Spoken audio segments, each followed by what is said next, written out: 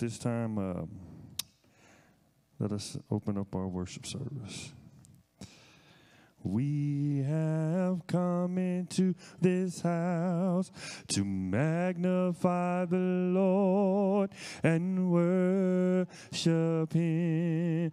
Oh, we have come into this house to magnify the Lord and worship Him. And we have come into this to magnify the Lord and worship Christ the Lord. Oh, worship Him. Oh, worship Christ the Lord. And so forget about yourself and magnify the Lord and worship Him. Oh, and so forget about yourself and magnify the Lord and worship Him. And so forget about yourself and magnify the Lord and worship Christ the Lord. Oh, worship Him. Oh, worship Christ the Lord.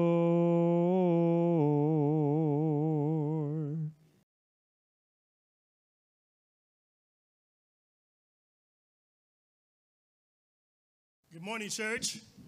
How's everyone doing today? We're here to worship God. You know what? Funny thing happened this morning. We came in and um, it was a squirrel running around being squirrely, right? And he was, um, you know, jumped out of the tree onto the uh, onto the, the power lines, right? And uh, we looked down on the ground. We saw a fried squirrel down there today, and we didn't have any lights or anything. So they came out and they um, got everything going for us.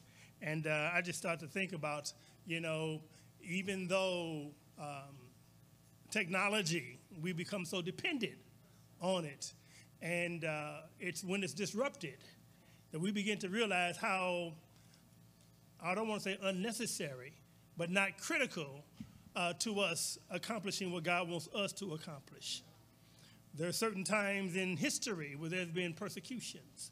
Uh, there have been situations that we would, through the natural eye, begin to see as a deterrent to our ability to worship God and to spread the good news of Christ. But God providentially can use that very thing uh, that Satan meant to be a hindrance. He can use it to be a help. So we uh, will worship God today in spite of all the different things that are going on contrary uh, to our being able to worship today. And amen. I believe that. And so today, as we get ready to worship, I'm going to ask that we focus our minds on this thought. Uh, our God is the Most High God. He is worthy of all of our glory. He is worthy of all of our praise, honor, and adoration. So as we engage in worship today, we are choosing as a devotional theme, all glory to the Most High God. Do you guys believe that? Can you stand and say that out loud? All glory, All glory to the Most High God. to the Most High God. Amen. Now, want you- while you're standing, I'd like for you to engage with me in our responsive reading. It's going to be a call response. I will do the call, and then the congregation will come in and respond. Are you ready for that? Yes. Amen. Almighty, Most High God, faithful. Let's let's do that again. Let me give the instructions once one more time. I'm going to do the call where it says leader. Ain't but one leader. Okay, and that's not a play on words. Okay, it's just how it is. I'm going to lead us, and then the congregation will chime in where it says congregation. Can I get amen on that? Amen. amen. Almighty Most High God, faithful through the ages. Almighty Most Holy Lord, glorious Almighty God. Change my heart, O God. Make it ever true. Change my heart, oh God. May I be like you. Let's pray together.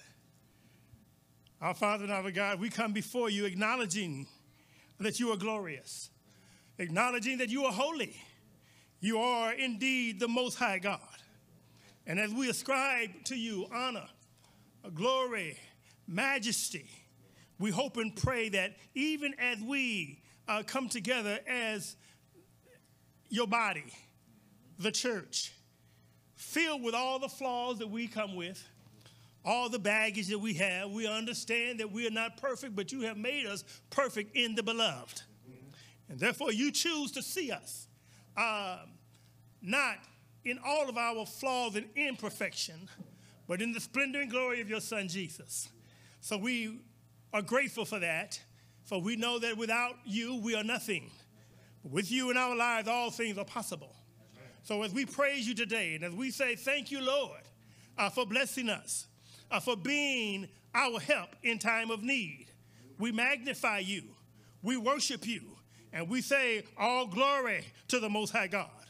So you're worthy to be praised, and as we worship today, we pray that our hearts are lining up with you in such a way that the very uh, words of our mouth and meditations of our heart be acceptable in your sight. For you are indeed our Lord, our strength, our strong tower, as well as our Redeemer, our Savior, our Comforter, and Keeper of our soul. For in Jesus' name we do pray. Amen. I'm going to ask that you remain standing for just a few moments as our devotional team or our devotional leader comes and, and directs our hearts in, in praise and worship today. Good morning once again, church. Page 37. Page 37 in our hymn books. Page 37 in our green and white folders. If you have it, let us together sing.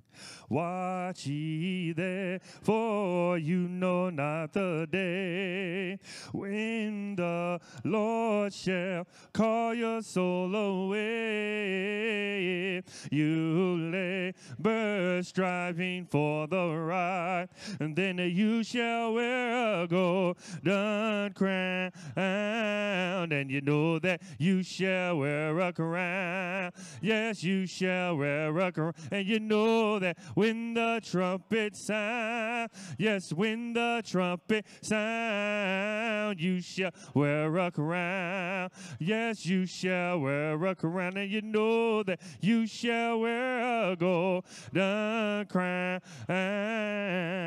and be not like those foolish virgins then, for he is coming, and you know when keep your lamps all trimmed and burning bright, and you shall wear a golden crown, and you know that you shall wear a crown. Yes, you shall wear a crown, and you know that when the trumpet sound, yes, when the trumpet sound, you shall wear a crown. Yes, you shall a, and you know that you shall wear a golden crown.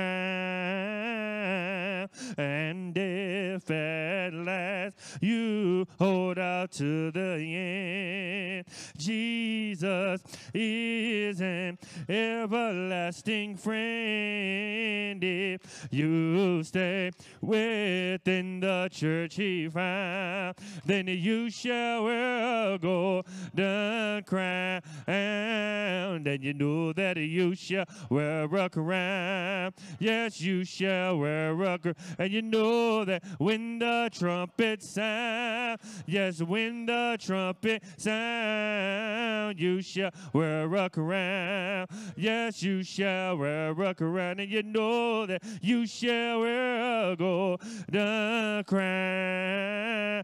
And you know that you shall wear a crown. Yes, you shall wear a crown. And you know that when the trumpet sound, yes, when the trumpet sound, you shall wear a crown. Yes, you shall wear a crown. And you know that you shall wear a golden crown. Woke up this morning, page number 32, in green and white folder. If you have it, let us together sing. I woke up this morning with my mind, and you know it was stay on Jesus. Yes, I woke up this morning with my mind, and you know it was still on the Lord. Yes, I woke up this morning with my, and you know it was still on Jesus. Hallelujah, hallelujah, hallelujah. Church, now I'm and praying with my mind, and you know it was still on Jesus. Yes, I'm singing and praying with my, and you know it was still on the Lord. Yes, I was singing praying with my, and you know it was still on Jesus. Hallelujah, hallelujah, hallelujah. Church, now I'm walking and talking with my, and you know it was still on Jesus. Yes, I'm walking and talking with my, and you know it was still on the Lord. Yes, I'm walking and talking with my, and you know it was still on Jesus. Hallelujah, hallelujah, hallelujah. Church, now I woke up this morning with my, and you know it was still on Jesus. Yes, I woke up this morning with my, and you know it was still on the Lord. Yes, I woke up this morning with my, and you know it was still on Jesus. Hallelujah, hallelujah, hallelujah.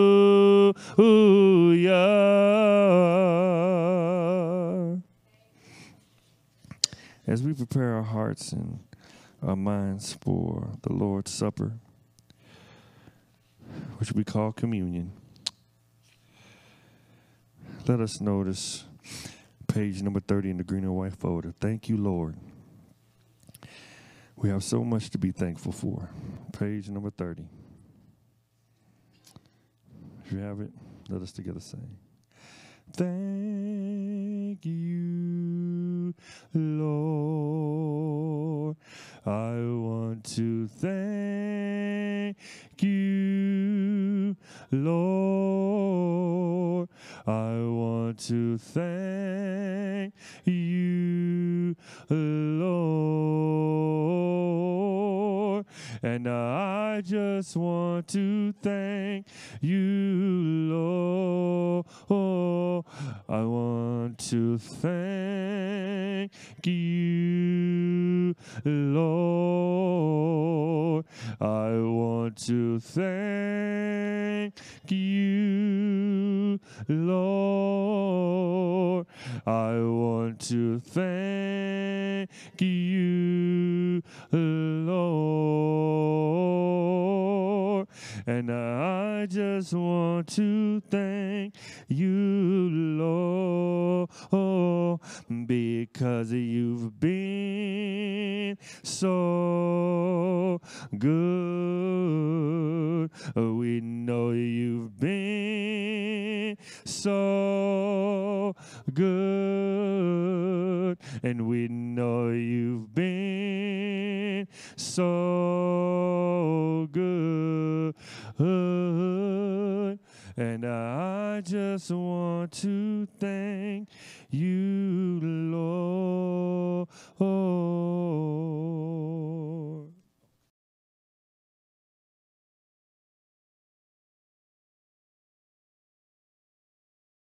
Good morning, church. This is the part of service where we recognize the death, burial, and resurrection of our Lord and Savior, Jesus Christ, and symbolically take of his body and of his blood. We read in Acts 20 and 7, upon the first day of the week, the disciples came together for the purpose of breaking bread. I'll be reading from the book of 1 Corinthians, chapter 11, verse 23 through verse 29. And it reads, For I received of the Lord that which also I delivered unto you, that the Lord Jesus, the same night in which he was betrayed, took bread. And when giving thanks, he it and said, Take, eat. This is my body, which is broken for you. This do in remembrance of me. After the same manner also, he took the cup. When he supped, saying, This cup is a New Testament, my blood. This you do often as you drink it in remembrance of me. For as often you eat this bread and drink this cup, you do show the Lord's death till he come.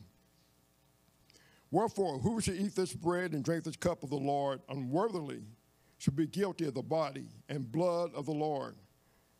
But let a man examine himself, and so let him eat of that bread and drink of that cup.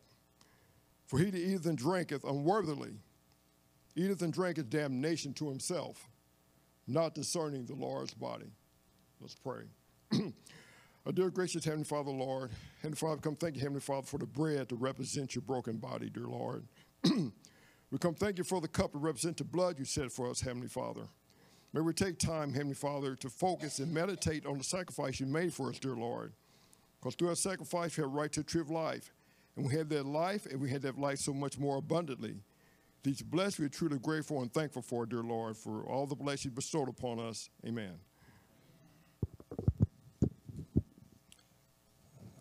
Let us break bread together on our knees. Let us break bread together on our knees. And when I fall on my knees with my face to the rising sun, oh Lord, have mercy on me, yes, on our knees. Was everyone served?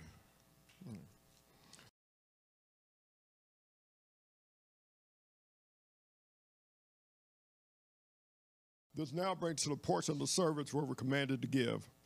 We also refer to the book of Second Corinthians, chapter 8, chapter 9, verse 6 and verse 7. And it reads, But this I say, he which soweth sparingly shall reap also sparingly, and he that soweth bountifully shall also reap bountifully. Every man according to as he pur- purpose in his heart, so let him give, not grudgingly or of necessity, for God loves a cheerful giver. Let's pray. Our dear gracious Heavenly Father, Lord, Heavenly Father, I'm thankful for this opportunity, Heavenly Father, to give a little bit back, Heavenly Father. But we know it all belongs to you, Heavenly Father. But we just thank for this opportunity. And may this collection be used for the furtherment of your spiritual kingdom, Heavenly Father, in this community and elsewhere. These blessings we're truly grateful for, Heavenly Father, and all the blessings. Amen. If you have a contribution, uh, raise your hand, and the brothers will uh, get them, uh, retrieve them for you, from you. Okay. Listen to page 262 in our red handbooks 262. Let's sing. Jesus, my heavenly King, loves me, I know. Praises to him I sing, onward I go. Closely to him I cling, blessings still flow. For I love my Savior too. And don't you know that I love my Savior and he loves me too. Yes, he loves me too. And I seek his favor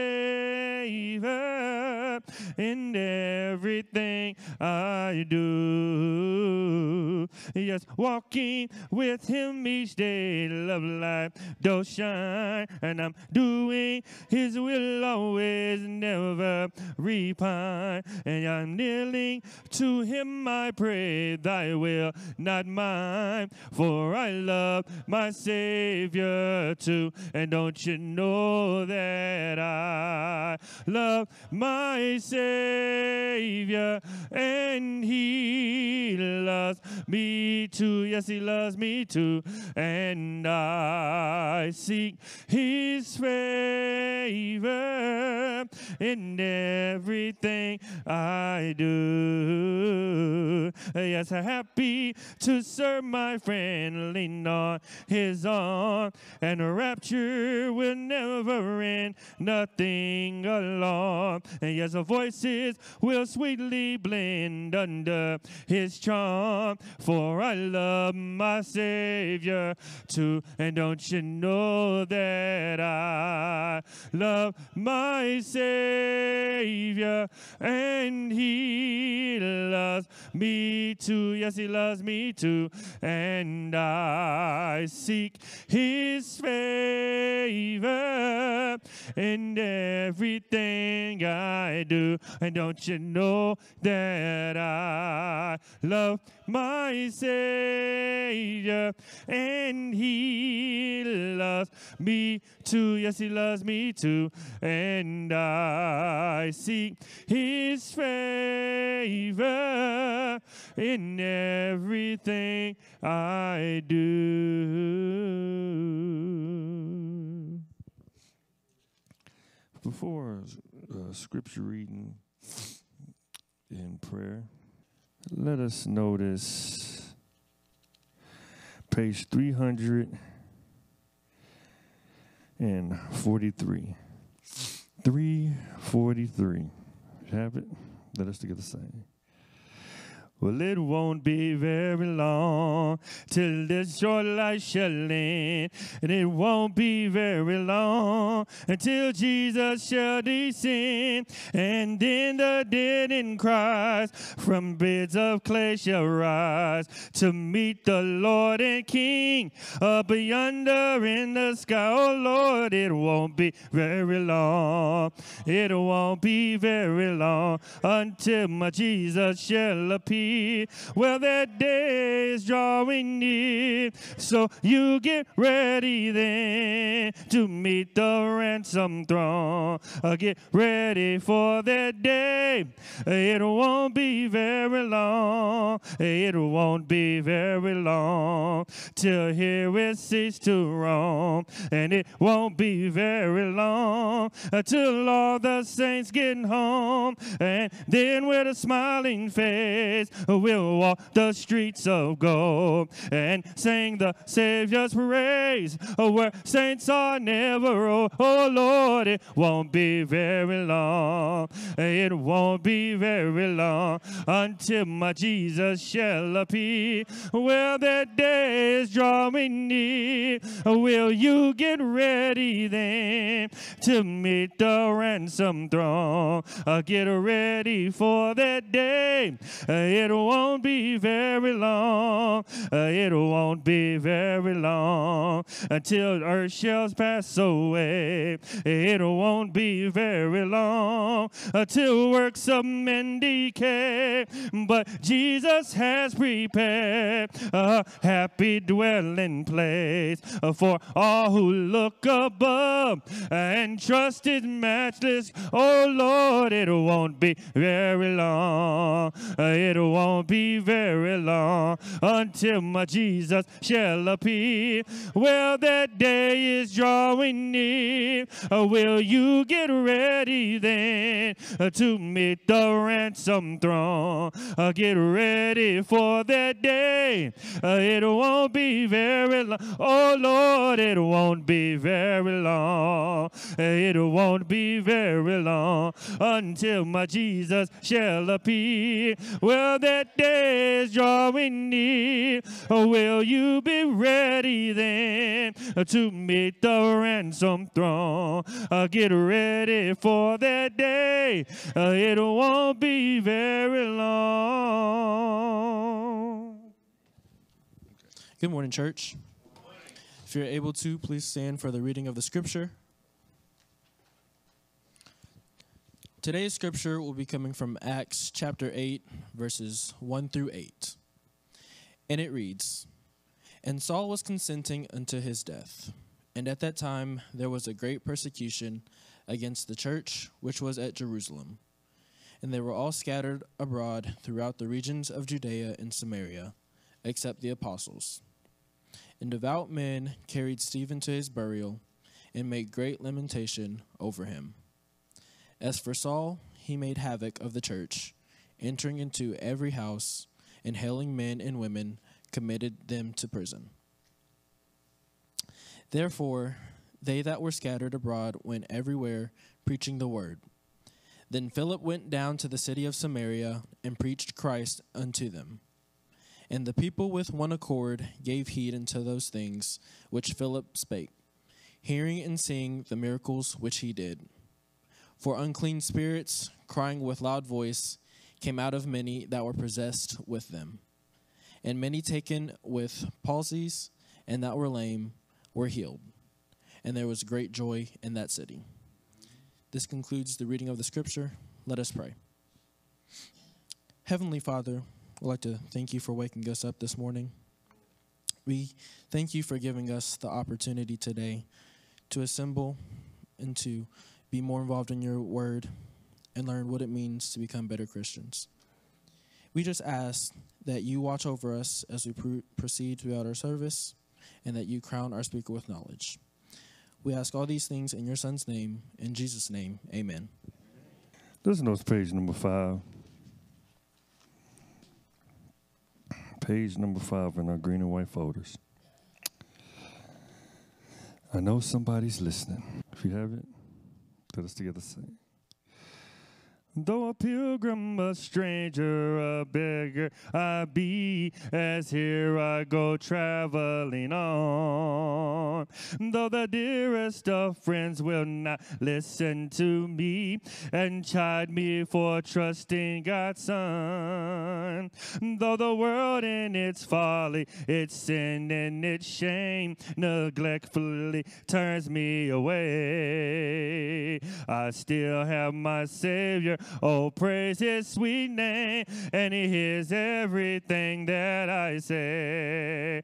And I know somebody's listening, and he hears everything.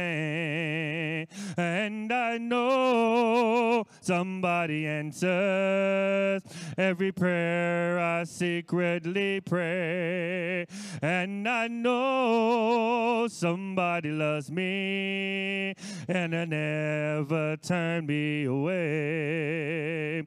Tis Jesus the Savior on Mount Calvary, and He hears everything that I say. And through the troubles and trials and darkest of night, He speaks and I hear His kind voice. Through the darkness, He giveth me comfort and light. He keeps me in Him I rejoice. What more could I ask when the shadows grow dim and kindred and loved ones betray? Oh, none no, cherished than Jesus the friend who hears everything that I say. And I know somebody's listening and he hears everything. And I know somebody loves me.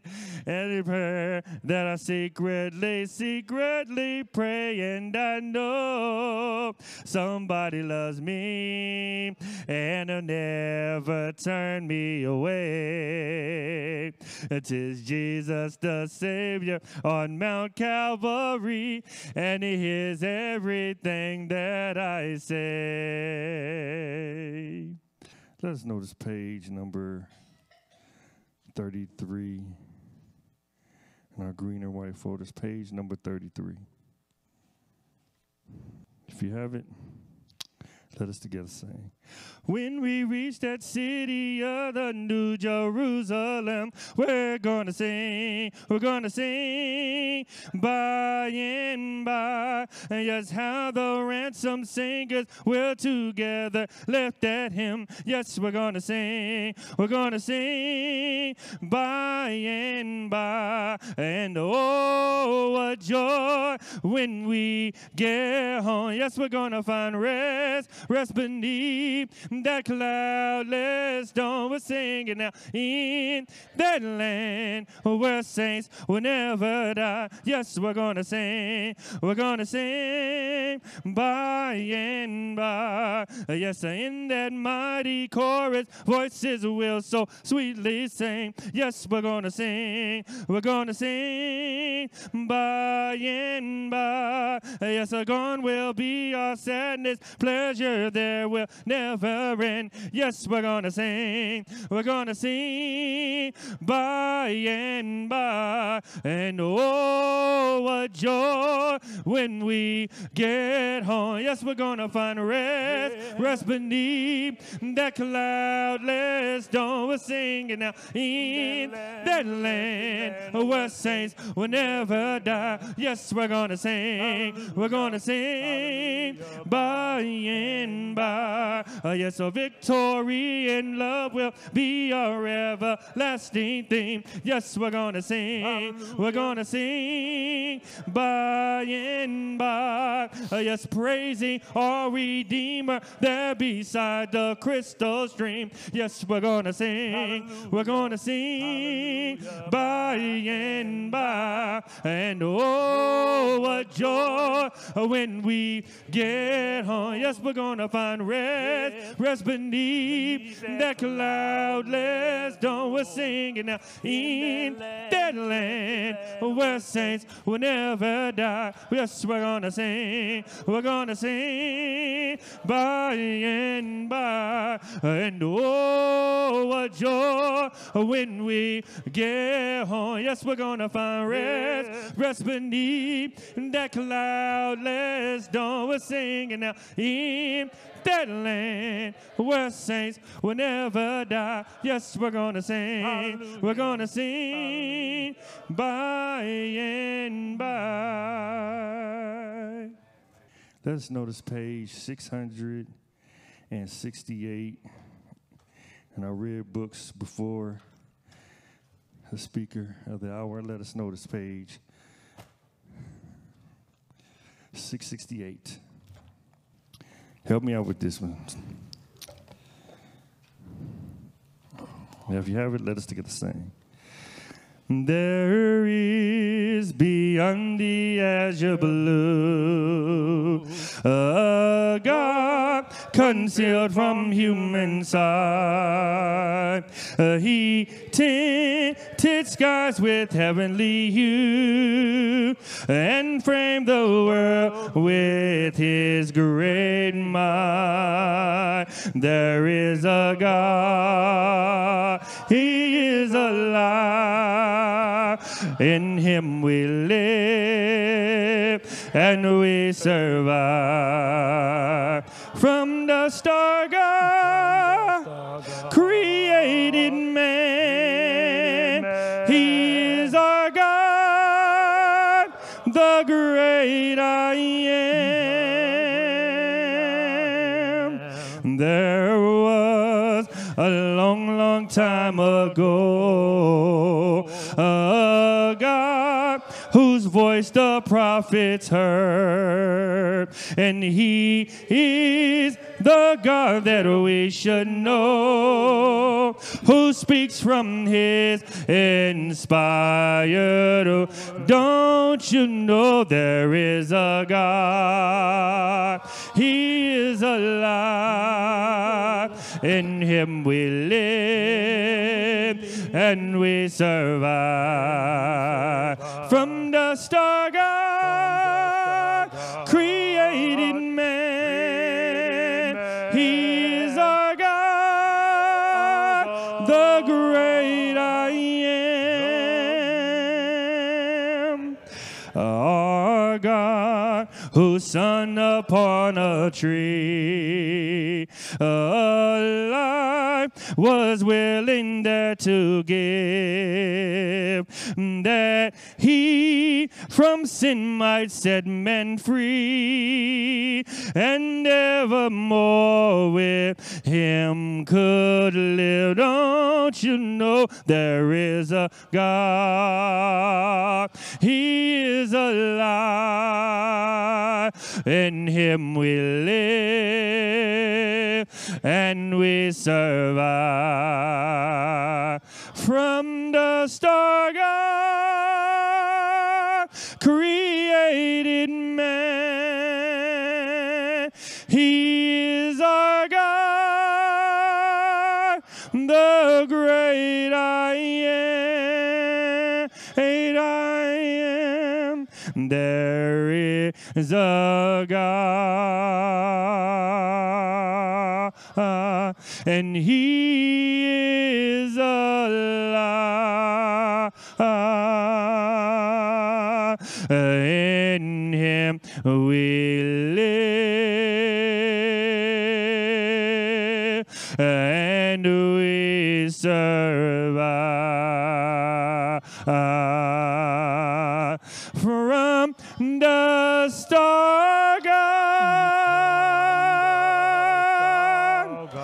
created man,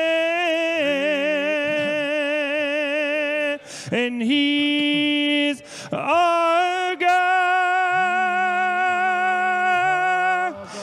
the great I am,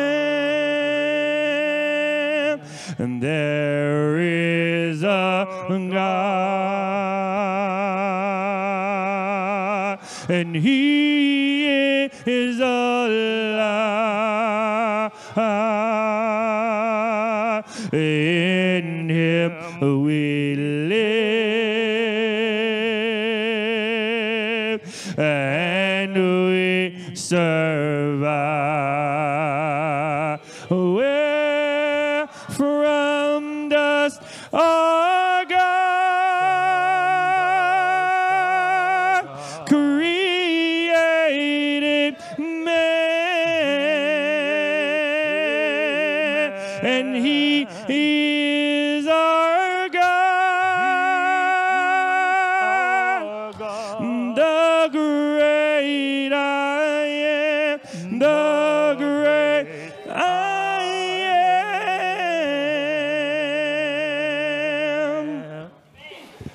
church say amen. Hallelujah. Praise God. From whom all blessings flow. Good morning, church. Good morning, everyone who's here today and those who are tuning in today. We want to let you know that we appreciate so very much uh, your presence, be it presently or in the present flesh or virtually. It doesn't matter. We're glad that you're here. We hope and pray that something will be said to cause you to think along your way as it relates to life and even the abundant life that is promised and offered and made available through Jesus Christ, our Lord. If you have your Bibles, turn with me to the book of Acts uh, today. I don't know what to call it. Do I call it Acts of the Apostles? Acts of the Holy Spirit, which is perhaps more appropriately, but perhaps even more germane to our lesson today. I want to call it Acts of the Scattered Church the acts of the scattered church. And the reason why this is important because is because uh, of the times in which we live. Just look around. Look around right now, even as we speak. Uh, there is turmoil, uh, violence, uh, hatred, uh, vitriol. I guess it's Sunday. Because that's an everyday thing. Every day there's something going on. There's so much consternation, dismay, and terror running rampant throughout the land. And so, as you look at today, even in the Middle East, as though there hadn't already been skirmishes all over the world, there's a lot of skirmishes right here. Oh, yes. There's a lot of divisiveness, and because of that uh, division, there's a lot of hatred and uh, propaganda and a lot of uh, uh um, negative smear campaigns going on, all designed to bring division, to weaken us, uh, to bring us to our knees. What about the church? What about the church? It's often been said when the world is at her worst, the church has to be at her best. because we have to be the light, the guiding light. Right. But the question becomes today, as we look at this text and the, the surrounding context that gave breath to this passage today, we have to ask ourselves the very, very fundamental question uh, Is this a, uh, a, a prophetic warning? A prophetic warning to us as believers as it relates to our role and responsibility.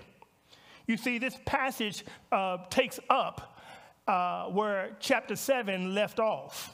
You know, when you look at the, when you read the Word of God, sometimes you have to ignore the fact that there are chapter breaks. You lose continuity with the chapter breaks, but it was not originally written in book, chapter, and verse. Uh, so notice as you look at this is simply a continuation of what had been transpiring throughout the whole book of Acts beginning when Jesus gave a great, great commission to his uh, disciples. He said, You shall be my witnesses. Okay? He said, You shall be my witnesses. He began to, to outline the, the basic Holy Spirit strategy for world domination by the church. He began to give us the blueprint of how we are to take his message to the masses. He said, beginning where? In Jerusalem, and then in Judea and then in Samaria, and then to the uttermost part of the earth. In other words, there should be no stone unturned. You know, every as we traverse uh, this terrain, we must make sure that we're always speaking in His name. So, therefore, we have to ask the question. Uh, as we see Stephen's message in Acts chapter 7, you know what happened in Acts chapter 7. Uh, in Acts chapter 7, um, Stephen outlined and laid forth a brilliant treatise uh, for the veracity of Christianity.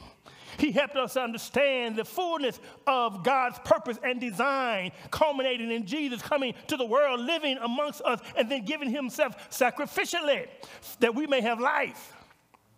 And he began to articulate uh, uh, from a very prophetic uh, uh, standpoint as he began to go back in the Old Testament and bring out those old uh, patriarchal heroes uh, like David, etc., letting them know that Jesus is indeed the Christ.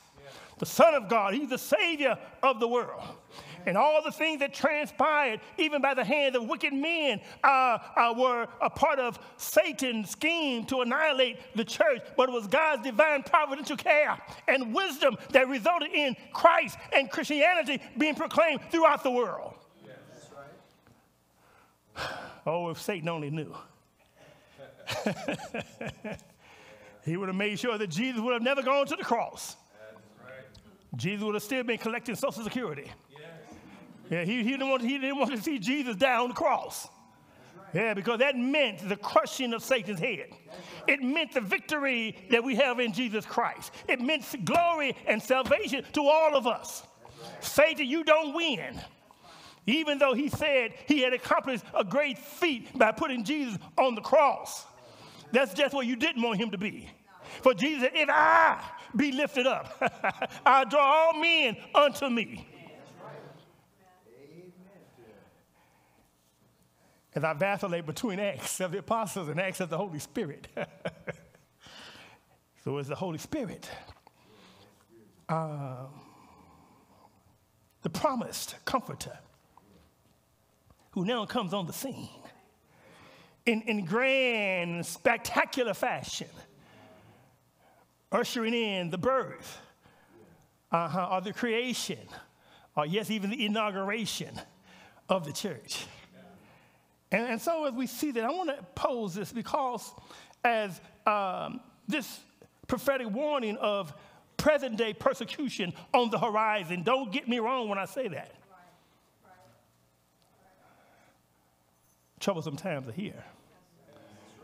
And as things escalate and elevate, it won't be something that we look on the news about. It can be stuff happening in your backyard and even knocking at your door. You see, Stephen's message helps us to understand uh, in what ways are we prepared to respond to the challenges of our faith? In what ways are you prepared to respond to the challenges of your faith? You see, Stephen's message was God's final invitation to Israel. If Israel rejected the message, God would then turn uh, to the Gentiles uh, to become the root and the ground for his church. In fact, Israel did reject the message. They rejected the message, and not only did they reject the message, that they said, we must destroy the messenger. We have to stomp out and stamp out uh, this message and this heretical, cultic movement that has the audacity to say that Jesus was the Son of God. And so, therefore, in Acts chapter 7, we see how they violently gnashed themselves upon Stephen, uh, gnashing their teeth and, and taking him and, and, and, and, and murdering him. To say stone him, maybe we may kind of, you know, get caught in the colloquialisms and, and you know, they, they killed him, murdered him took him out and took big boulders and rocks and, and just hurled him at his head, just violently killed him in this attempt uh, to utterly destroy and step out the church. However, however, God had another plan. However, even in the midst of all that hatred. However, see, their, their verdict was against the church, but God overruled their verdict. Yes. God said, I'm overruling your pronouncement of stamping out any annihilation of the church. I'm going to overrule in this thing. And notice what he does. He used the very uh, persecution that they used as a means to stamp out the church. He used that same persecution as a means of scattering the church all across the world. And you know, it's like a, if, if, if someone is, is cooking and you're frying some food, right, and, and you get a grease fire, and in your panic, first thing you want to do, your brother, you must keep him out of the kitchen.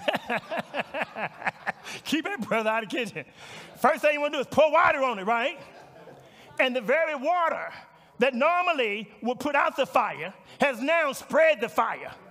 See, when, when, when, when Satan was using those antagonistic Jews uh, to stamp out Christianity, they took water and poured it on a, on a grease fire. And then instead of putting the fire out, they fanned the flame all over the world. Yes. and so today I want to I want to take that that historical fact. And I want to use it to show how God fulfilled uh, the instructions of Jesus. So Jesus said in Matthew 28, He said, All authority in heaven and in earth has been given unto me. He said, Go ye therefore uh, and, and teach all nations or make disciples. Okay? He said, baptizing them in the name of the Father and of the Son and of the Holy Ghost. Yeah, yeah. He said, he said, teaching them to observe all things whatsoever I commanded you. And when you do that, if, if, if you do that, and when you do that, don't worry about nothing.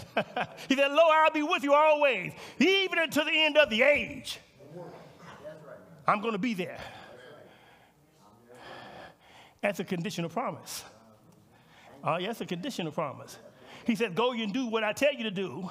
And when you do that, I will be with you. I'm going to give you the courage, the backbone, and the spine, the gumption to stand up and speak. Don't even worry about being articulate. Don't worry about what you're going to say. Just go there and be my representative. I give you the words. I got you. You believe that? You believe that God says, if you, if you do what I ask you to do, I'm going to promise to do what I told you I was going to do? How many of you believe that? Can you take him at his word? Is he, is he right and tried and true? well, well, there's a purpose for this lesson today. There's a purpose for this thing. And, and, and it's simply, I want to show uh, that we have been given the biblical blueprint uh, for kingdom expansion. It's all about the kingdom, right? It's not about us, you know, you know, playing a lot of church games. It's all about the kingdom of God being advanced and expanded. Understand that. And, and so, therefore, um, we have been given the blueprint in Ephesians chapter 4. That God has given some uh, uh, uh, uh, apostles and prophets and evangelists and pastor teachers, all for the perfecting or for the equipping of the saints. For, or in order that the saints can engage in the work of service.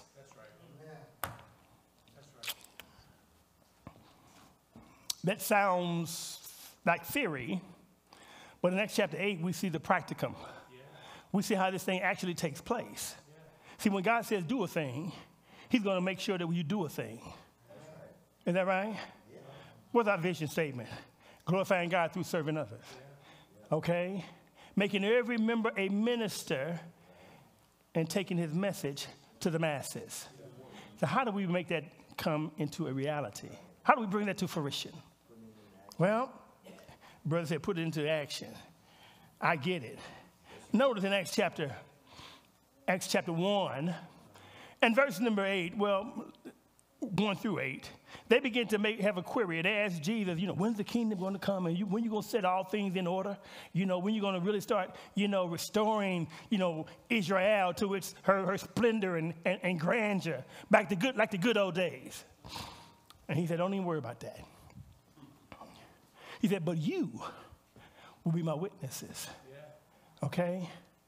He said, Not based on your own prowess or your own intellect or your own cunning or ingenuity. No, no, no, no. He said, For when the Holy Spirit comes upon you. See, we, we try to get ahead of our skis. And we want to do things based on Gino, Brother Merriweather, and all that kind of nonsense. No, he said, when the Holy Spirit comes upon you, and this is important. I want you to wait until you get your marching orders. Sometimes we, we, we want sometimes you don't want to go when you're supposed to go. And when you're not supposed to go, that's when you want to rip and run. so he said this is going to happen, you know, again, Jerusalem, Judea, Samaria, the uttermost part of the world. He said this is how it's going to happen. Okay? But notice, as the early church began to take root, they were real comfortable, warm and cozy, warm and fuzzy, right there in Jerusalem. Okay? Some great things were happening. The, the, the, the church uh, had been established and it was now growing, and uh, they were dealing with issues pertaining to the maturation of the body and all those different things. But hey, don't forget what I told you to do now.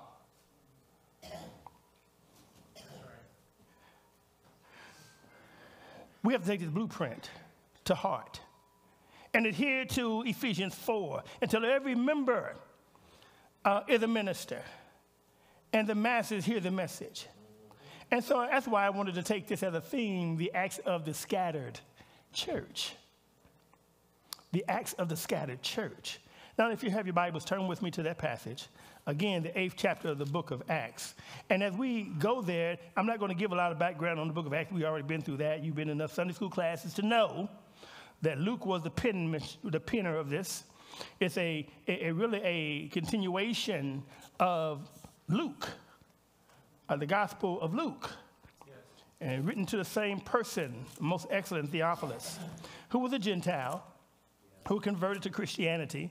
And, and, and Luke wanted to make sure he had, you know, he had his, his, that he was anchored in the faith. He wanted to make sure he was anchored in the faith. And he said, I am taking it upon myself to explore, you know, and, and give a, a comprehensive narrative that you may understand and know for certainty all the things that you have been taught. Okay?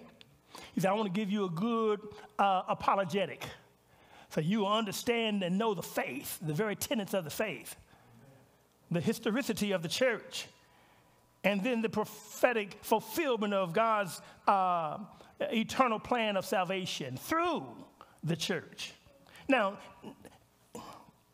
I, I want to say that, um, again, the death of Stephen served as a fan of the flame for Christianity throughout the world, the known world. Uh, it was a grassroots movement. Understand that. It was a grassroots movement uh, that turned the world upside down. Now, the Bible says, and I'm on my way there.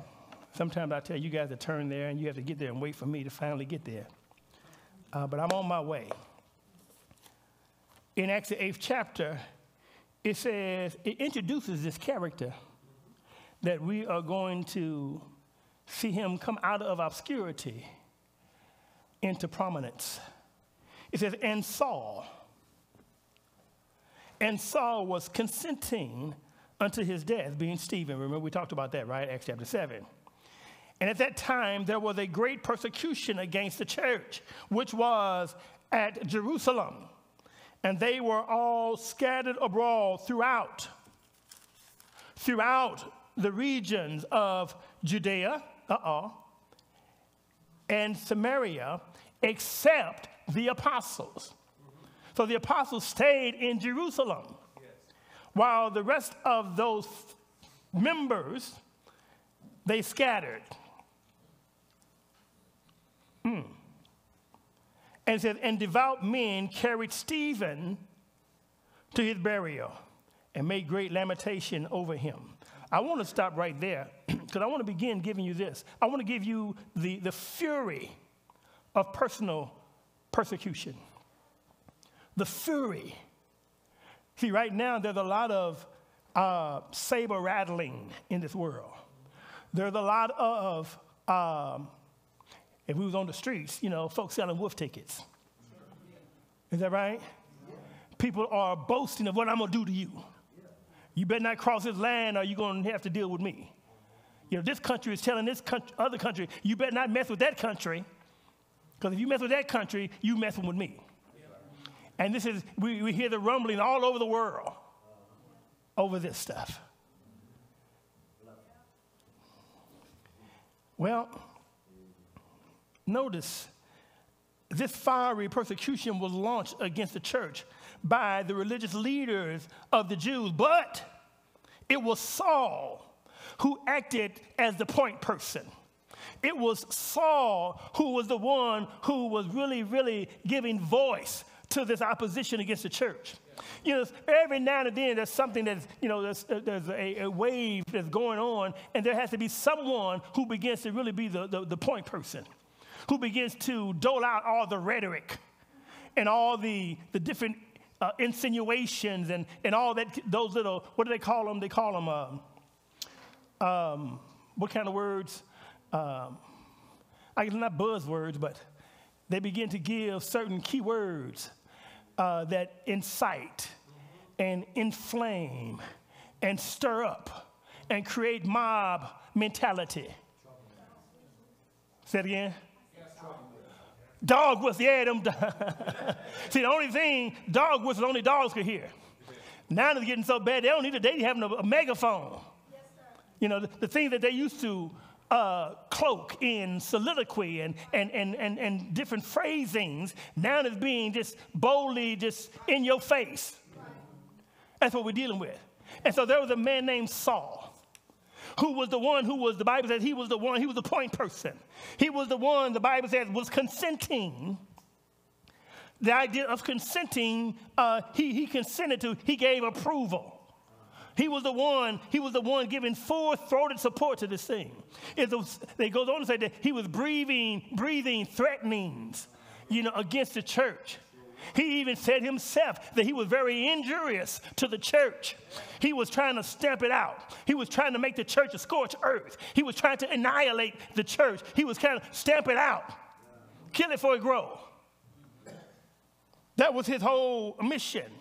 So not only uh, was he consenting or give approval or giving a nod, okay, to the killing of Stephen, uh, but he was even more zealous than that. He led the persecution.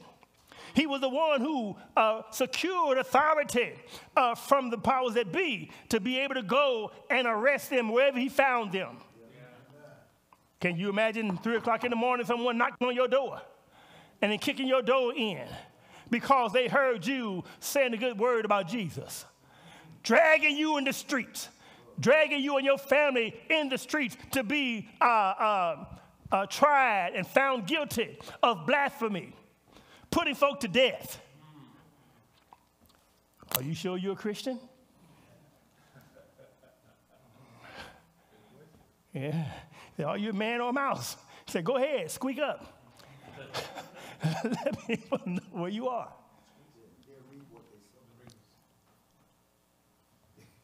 The persecution was launched quickly. Notice the progression from, from Acts chapter 7 into Acts chapter 8. The very day uh, when, when, when, when, uh, when, uh, when Stephen was killed, that was just the beginning.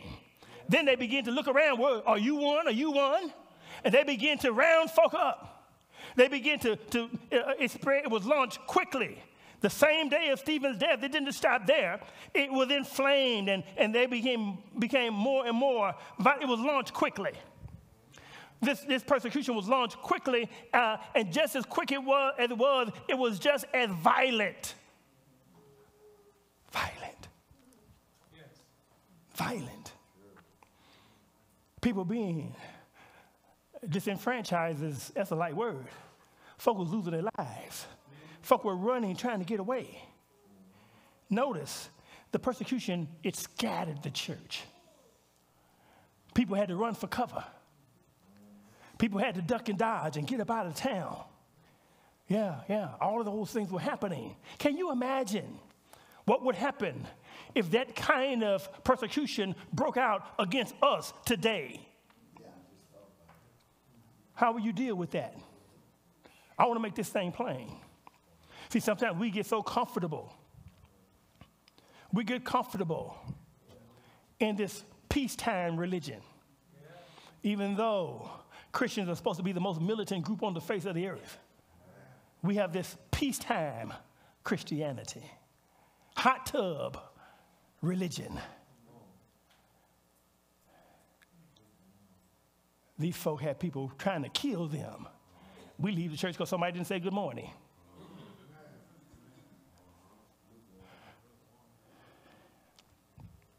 have it your way religion. The persecution was violently launched, and it resulted in them being scattered all over the world. They were scattered physically, but they were not scattered spiritually. Hank, stay with me. Sometimes it's dark before the dawn.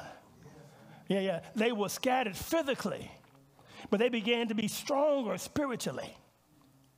It's amazing how that happens sometimes.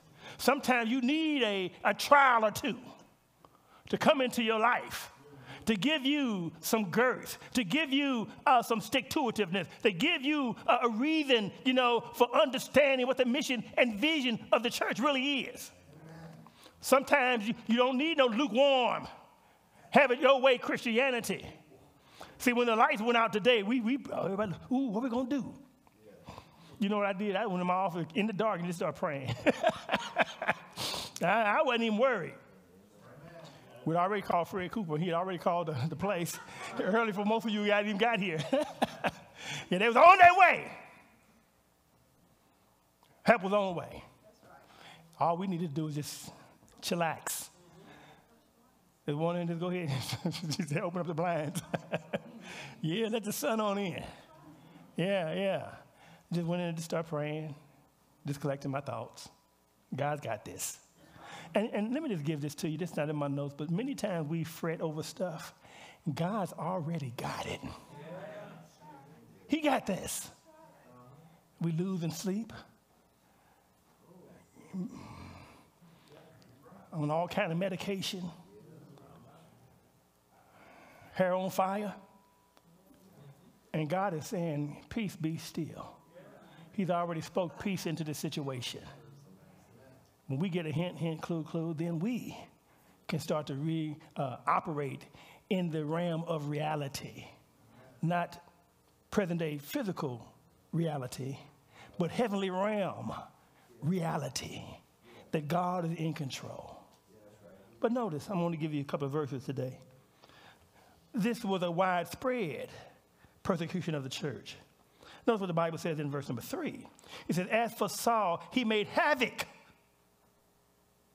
of the church, entering into every house, hauling men and women, uh, committed them, committing them to prison. Notice that men and women, that's important. Because in those days, they said women were so insignificant um, and mattered very little. But it stresses the point that everyone who, in some way, shape, form, or fashion, espoused Christianity, you can't escape the fury of this persecution. He says, Yeah, men and women were drugged into jail, put into prison. Notice the persecution of the church. It started as a local uh, targeted thing, but quickly spread throughout the whole region. And, and not only did it spread throughout the region, they, they stormed into people's homes. Can you imagine having dinner? And then all of a sudden, they just kick your door in. Well, wait a minute, that sounds like today. What's that sister in, in Louisville? They just banged her door in and just Breonna Taylor. This is this is this is becoming an everyday occurrence. Can you see the prophetic uh, uh, utterances here? We have to understand uh, that is, we're just this far away from this happening in your house, in our community. And it's not just a racial thing, I'm just talking about a loveless thing. Just don't uh, disagree with me. Then you're on my list. And matter of fact, right now we're talking, the, the, the heads of state talking about our main objection, objective is the annihilation of another state. We live and breathe for the purpose of making sure that someone else does not live and breathe.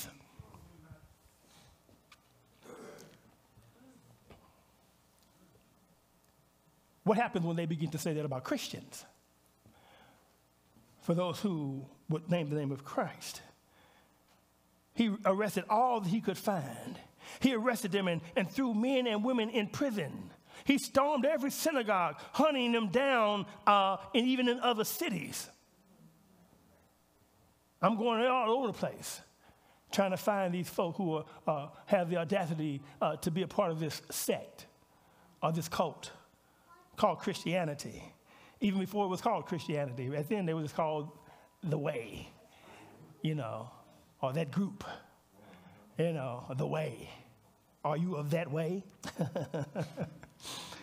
Notice, he brought many to the death and gave voice to the death of others. You know, he's the one, he may not go to the, what's the place? He may not go to the Capitol, but he'll whip everybody up so they go to the Capitol. Saul made havoc of the church. He was being used by Satan. Yes, he was. But here's the funny thing he's being used by Satan to destroy the church while he thought he was being used by God to stamp out this heresy. Yet God did use him providentially. He used him providentially. It kind of reminds me of Moses uh, when he was put into that little basket. And Pharaoh had you know, put out an edict and an order and a decree uh, and mandated all those midwives, when you saw a male child being born, kill it. Right? And as, and as he, he came home from the office of being Pharaoh, and he said, Yeah, it was a hard day. You know, we, we killed all, so many. I know we, st- we, we found the one. We're going to kill him. And, you know, whew, I'm sitting down. I'm tired. Had a big day killing all them Hebrews, right? Bring my grandson in here so I can bounce him on my knee. How you doing, little Moses? How you been all day? Don't tell me God don't have a sense of humor. So God is he, he, he's, he's rocking on his knee, the very one who's going to destroy him and crush his power. Saul thought he was doing God a favor by stamping out the church, but God was using him to help the church to fulfill that mandate of going throughout the, the whole world. Saul was a tool to be used by God. And it's also a testimony of the grace of God. Because this very Saul who was breathing threatenings against the church, God would soon take him and capture his heart and turn him into a champion for the cause of Christ. Don't tell me God don't have a sense of humor. Yeah, yeah. He changed his whole, he first of all, he, he changed his, his, his status. Okay? In other words, he saved him. He gave him the message of salvation. Yeah, and when he went down, where was he going down to where? Um, was he going to um, Damascus? Is that right? Yeah, Damascus. Damascus. The folk down in the Damascus heard that, that, that Saul was coming. And they said, Oh, no, he, he, he, he found us. And they were afraid. And God told the preacher, He said, He's coming. I want you to get ready to, I want you to go meet him and, and share with him the faith. He said, Are you sure you want me to do that? Had one of the Richard Pryor moments. Was that you, God? For real? Yeah, yeah. I want you to preach to him. So God changed his status, he changed his heart. Changed his, then, then he retooled his purpose. He retooled his purpose. He wanted to be a, a, a, a, a tragedy to the church. He became the church's chief triumph. God can retool you. You got to stop running from God. And you got to go ahead and stop saying, well, you know, God, use me. Use me. I don't care who, everybody else can sit on down and do what you're going to do, but I want you to use me. And when you say use me, God and you make a majority. Saul became a champion of Christianity.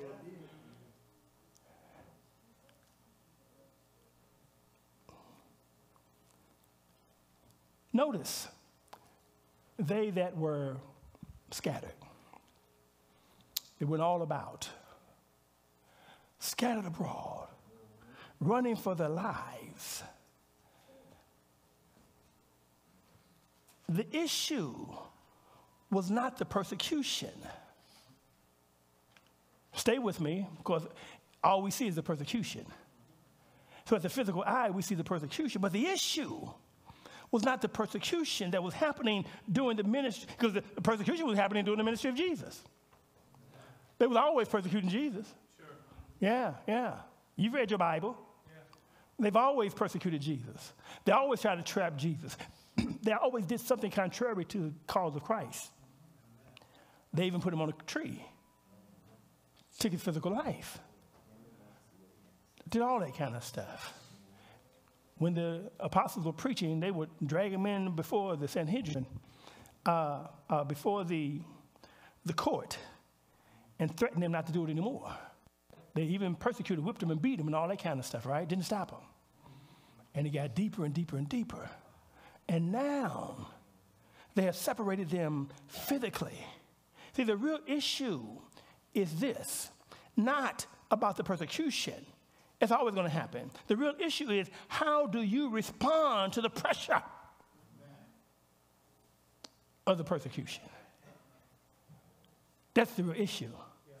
See, it's not about what happens to you, it's how you respond to it. And that's a universal principle that goes in life. How do you respond? When someone acts ugly toward you, do you respond by getting ugly as well? How do you respond to what happens to you? that begins to show who you are, your real mettle. It will be tested. Either it may be, and sometimes we have light persecutions, but sometimes it can be hot and heavy.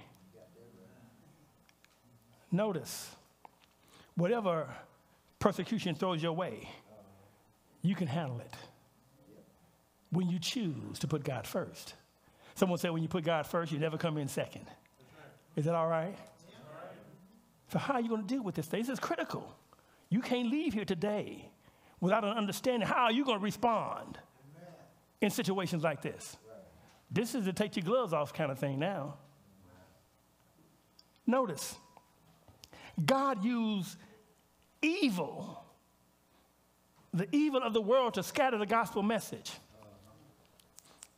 See, he, he took those with hatred in their hearts and he used them to scatter the message of love abroad. Believers were scattered And they took the gospel everywhere they went. Everywhere they went, they did not leave home without it. They took the gospel with them. They didn't have a whole bunch of books. The word was simply in their heart. The love of Christ was in their heart. So everywhere they went, they took the love of Christ and they took the message. Notice the believers were scattered. It didn't say the apostles, did it? The apostles stayed in Jerusalem. And have you ever wondered why? Why did the apostles seem like they should have been on the 10, the, the, 10, the 12 most wanted list, right? Yeah. But they stayed there in Jerusalem. What a display of courage. What a display of being sold out for the cause of Christ. It was essential that they stay there because all those people who were scattered, guess what they had to do? They had to look with assurance to the fact that they're in the church. We in the church. We may not have it right here in this little podunk place we're in, but in Jerusalem, we have a church. Yes. It was vitally important that the church survive, that the church maintain strength, that they become the, the, the, the, the city on the hill, that all other believers who were now scattered could still look to Jerusalem because that's where the church is. It was important that the church survive. The apostles stayed, but guess what? The majority of the evangelistic work was not done by the preacher. It was not done by uh, the apostles. It was done by those who were scattered. I want to talk about the acts of the scattered church today. See, it was the scattered church uh, that evangelized the world. It was the scattered church that took the gospel every place. They went everywhere gossiping the good news of the gospel. Those were the quote we would call them lay, lay members, lay folk, pew packers. They had Christ in their hearts. And everywhere they went, they went forth. Believers were scattered. They took the gospel everywhere they went. They were not the clergy. I'm using these words that we often use. You know, we they didn't have those words, but uh, we use the word the clergy versus the laity, making some kind of divide okay? Making some kind of divide so those who are in one rank will kind of look at themselves as being better than those at the other rank. See, we get caught up in that nonsense. A lot of times people uh, meet me and they know me as Gino. And I got this from a guy by, by the name of Richard Rogers. He was one of my one of my, uh, uh, one of my professors at Sunset International Bible Institute, and he would say he would go to a certain place, and he would get a part-time job. So when people ask him what he does for a living, he could talk about that job and never tell them about he was a preacher. Never tell them about, you know, I'm Pastor so-and-so, or I'm Reverend so-and-so, I'm brother this, or I'm brother that. No, my name is Gino Murray. Well, how you do? And you can talk smack to me and, and all that cussing and all that kind of stuff. Be who you are, because I'm going to be who I am. Let's, let's dispense with all the titles and all that kind of stuff. Now, if you, you know, want to give credit to a person and, you know, there are appropriate places for certain things. I get that. But I want to talk to you on a heart level today. We have to dispense with a lot of all that kind of stuff and get down to the real business of how we're going to get the job done the apostles stayed in Jerusalem, and all those lay people were scattered. And they took the gospel message to the world.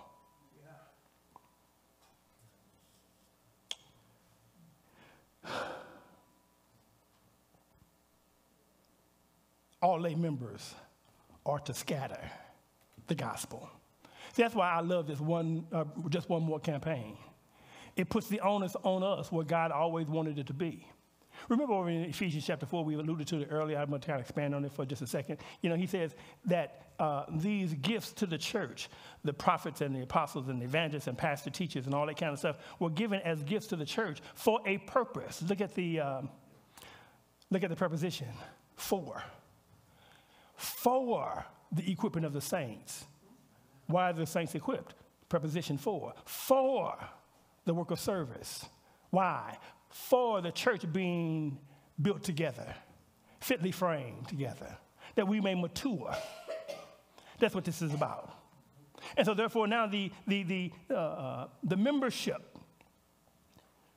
God used the persecution to embolden the saints to service. They ran, but they did not hide. That which was in them had to come out of them. It kind of reminds me of Jeremiah. Now, Jeremiah had a different circumstance. Jeremiah was kind of fed up. He said, You know what? I've been preaching to everybody, and everybody, I got a 100% response. everybody said no. right? And he said, I'm tired. You know, I'm, I'm, get, I'm, I'm, I'm hanging this stuff up. And he said, When I say that I will no longer, you know, speak in his name, and I'm, I'm not going to speak or preach anymore, he says, uh, it becomes like a burning fire shut up within my bones. He said, I'm weary of trying to contain, I can't keep it in. And when they got scattered abroad, that which was on the inside had to come out. They couldn't just contain themselves. They had to speak and preach and gossip the good news. How about us? Will you even give out an invitation?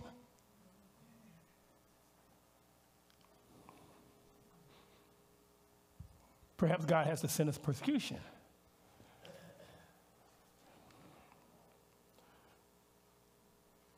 What's in your heart? What's in your heart? Is the fact that God has loved you and saved you, that flooding your heart? Does it fill your soul to the point that you are just uh, so overwhelmed by the love of God that you can't help yourself? You become a George Cabell, right? Just, just, just everybody I see, you know, I'm chasing folk down to tell them about Jesus. Yeah, he get on folk nerve a lot. And so don't worry about that. Sometimes that can be a badge of honor. Don't get me started. I'm just trying to say, you know, I ain't mad at the brother. You know, now, brother, now sometimes you need to know when to hold them and know when to fold them, right? Know when to walk away and when to run. I, we all have to, but that's a part of our a maturing process. But these people, everywhere they went, they went gossiping the good news. I'm not going to deal with verses 6, 7, and 8. That's just a, that gave you a, a, a microcosm, a microspection of one person, you know, Philip. But I venture to say that there was a lot of Philip scenarios going on all over the place. They isolate Philip as he dealt with you know, different circumstances, uh, Simon the sorcerer, uh, the eunuch from Ethiopia, and all that kind of stuff. Those are just snapshots of what was going on at large. Because all of them went out gossiping the good news. You see what I'm saying? The, the thing I want you to get that, even that when there was persecution, while there was persecution, uh, the Bible says uh, there was preaching, it went all over the place.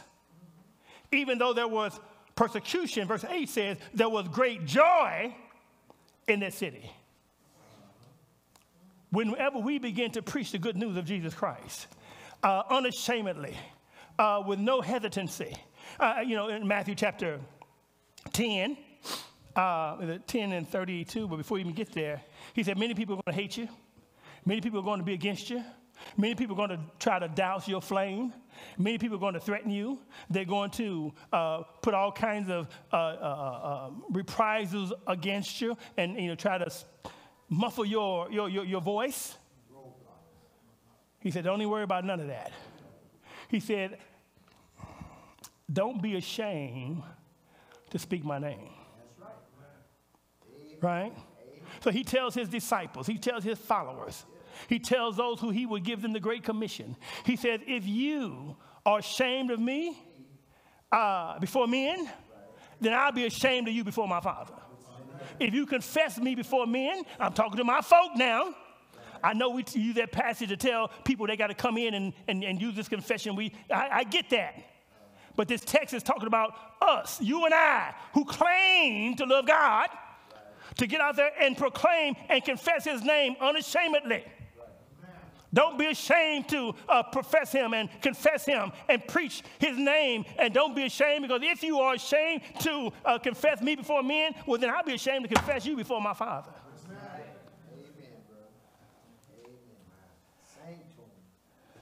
The great purpose of the persecution was to spread the gospel throughout the world as Christ had commanded.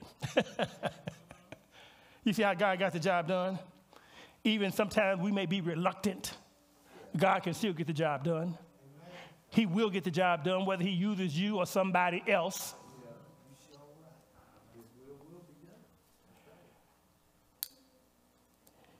It's up to the staunch, faithful endurance of the believer. Most preaching and witnessing was to be done not by the apostles, in other words, not by the preacher, but by the scattered lay believers. And I think we as a church, and I like that, I think we are in harmony with the will of God when we say that we are here to glorify God through serving others and make every member a minister that we may do what? That we, the members, may take his message to the masses. Point blank, period. That's what this thing is all about. And the question is if you're here today and you have gotten clouded about some, some uh, uh, notion that is all about getting a hired gun to do all the preaching and evangelizing. No, the hired gun is, is, is there for one purpose for the equipping of the saints that the saints, the equipped saints, now can engage in works of service uh, based on love. And if you don't do it, he'll send a persecution and make you get to it. That's what it's all about. I ain't uh, no holds bar. That's a book. We see it in Acts chapter 8. God said go, and we said we want to stay. He said, you to go. Uh-huh. How you like me now? And then he's in some persecution. He turned up the heat. He turned up the heat. And when the heat got turned up, then they began to do what they were already supposed to be doing. I'm through, guys. if you're here today, God loves you. Just like he, he, he, he, tamed, he changed and repurposed Saul. Yeah, gave him his, his, his, his Roman name, Paul, and began to affect the turning of the world upside down for the cause of Christ. How about you? Can God use you?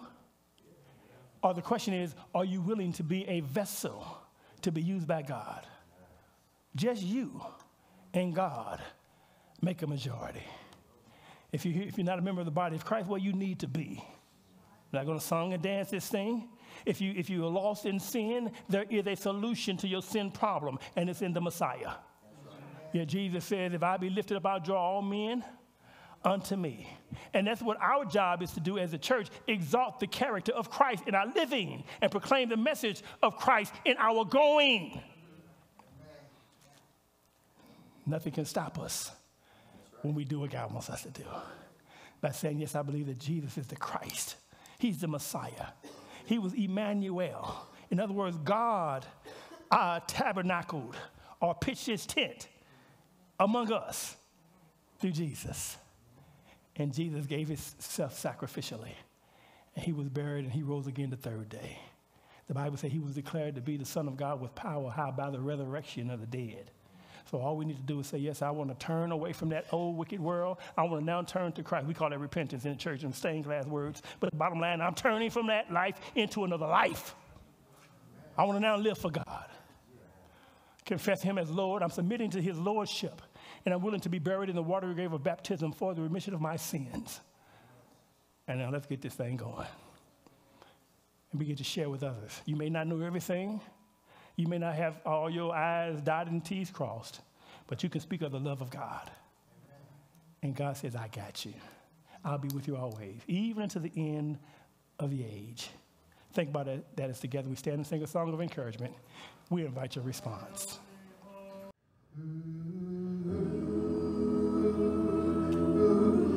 Ooh.